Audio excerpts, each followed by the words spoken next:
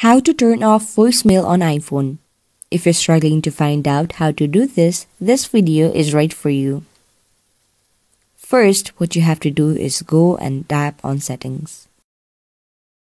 Now scroll down on your screen until you find the app called phone. Scroll down and tap on phone. Scroll down again and there's an option called call forwarding. Tap on it.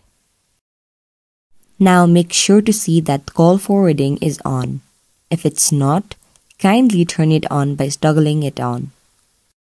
Now go back and tap on your phone and dial has 004 has.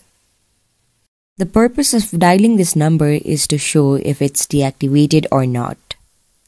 In this way, you can see the status of your voicemail and also turn off the voicemail on your iPhone. If you found my video helpful, make sure to share it with your friends, give big thumbs up and subscribe to our channel. Thank you.